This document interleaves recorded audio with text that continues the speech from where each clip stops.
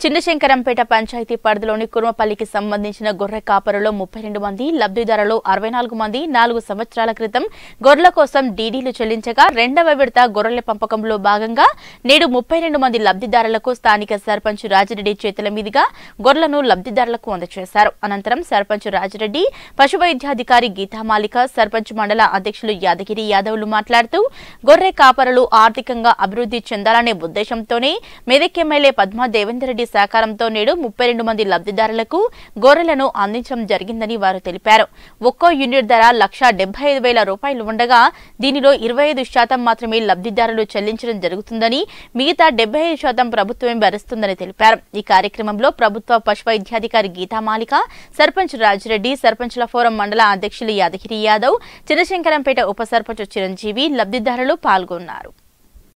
స్వాతంత్రం సిద్ధించిన డెబ్బై ఐదు సంవత్సరాల కాలంలో మరి కున్నారిల్లుతున్నటువంటి కులవృత్తులను పెంచడానికి మరి చట్టసభల సాక్షిగా ఏడు గంటల పాటు గొల్లకుర్మ సామాజిక వర్గం పెద్ద మొత్తంలో రాష్ట్రంలో పెద్ద సంఖ్యలో ఉందని గ్రహించి మరి ఈ యొక్క అత్యధిక ఉన్నటువంటి ప్రజలను ఆర్థిక స్వావలంబన కోసం ఆర్థిక ప్రగతి పొందడానికి తద్వారా రాష్ట్రం అభివృద్ధి చెందడానికి మరి యొక్క కునారిల్లుతున్నటువంటి కులవృత్తులను ప్రోత్సహించడానికి గౌరవ ముఖ్యమంత్రి గారు కేసీఆర్ గారు తీసుకున్న నిర్ణయం వల్ల ఈరోజు రెండవ విడత గొర్రెల పంపిణీ కూడా ఇవాళ విజయవంతంగా పూర్తి చేసుకున్నాం.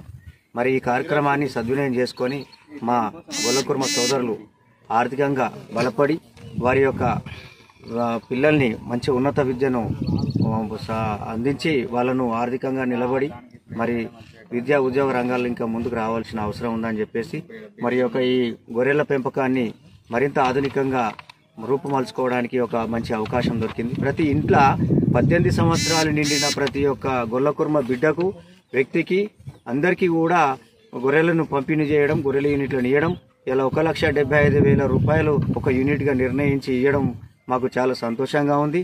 ఈ సందర్భంగా గొల్లకుర్మ సంఘాల తరపున గౌరవ ముఖ్యమంత్రి గారికి స్థానిక ఎమ్మెల్యే పద్మాదేవేందర్ రెడ్డి గారికి మరియు అన్ని విధాల అండదండలు అందిస్తున్నటువంటి స్థానిక సర్పంచ్ రాజిరెడ్డి గారికి మరి పశువైద్య శాఖ సిబ్బంది అందరికీ కూడా మా గొల్లకుర్మ యాదవ్ సంఘాల తరపున గొర్రె కాపుర సహకార సంఘాల తరపున మరొకసారి కృతజ్ఞత తెలియజేస్తూ శుభాభివందనాలు తెలియజేస్తా ఉన్నాం.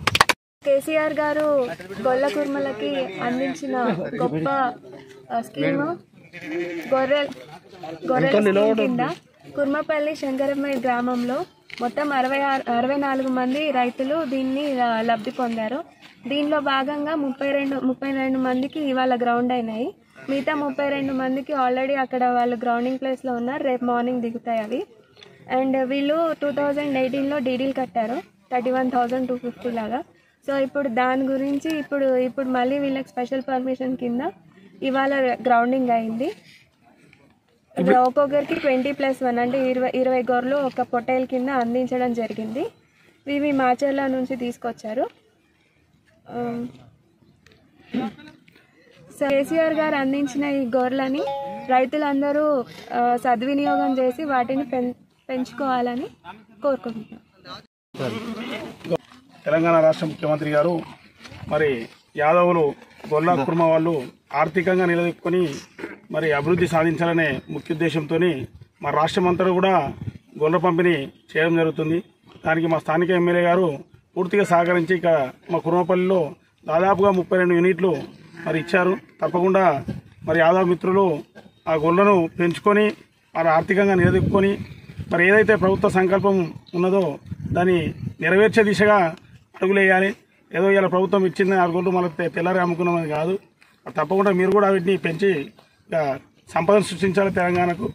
తప్పకుండా మరొక్కసారి స్థానిక ఎమ్మెల్యే గారికి మరి అలాగే మరి యాదవ సంఘం జిల్లా అధ్యక్షుడు గారికి మరి మా కురమపల్లి పెద్దలందరికీ కూడా మరి శుభాభినందనలు తెలియజేస్తూ ముగించుకుంటాం